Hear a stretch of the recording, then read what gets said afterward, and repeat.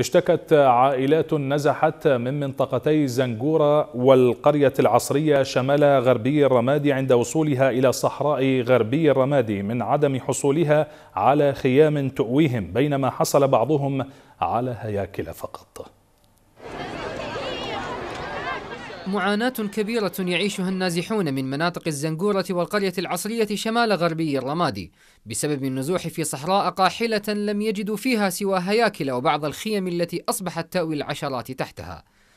النساء والأطفال وكبار السن يشتكون سوء الحال الذي وصلوا إليه بسبب حروب لا ناقة لهم فيها ولا جمل بينما تلتزم حكومتهم الصمت تارة إزاء ما يجري وتلقي اللوم على الإرهاب تارة أخرى بينما يعاني المواطن التدهور ويعايشه كل يوم.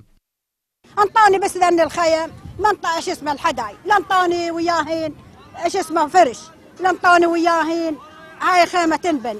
بس الحدايد ذني وأنا أقول اناشد سيد المحافظ ما يصير هيك والله. اعتقالات طالت الرجال من العوائل النازحة لأغراض التحقيق في انتمائهم لتنظيم داعش رغم تلك المعاناة التي عايشوها. بينما يبقى الأهالي مطالبين بالإفراج عن ذويهم دون أي إجابات من قبل الحكومة. إي من طلعونا يكملوا لنا غير نطبع الخيم قبل نقعد نرتاح لنا يومين إحنا بالتراب ولحالنا قاعدين. والعندي عجوز التجال عطل حالها وعندي جهال مرضى بنيات صغار له بيهن وأبهاتهم أخذوهن هناك اعتقلوهم بعدهم لا ودوهم هناك غير اللي يسوون جنسيته ما عنده شيء يدونه على بيته.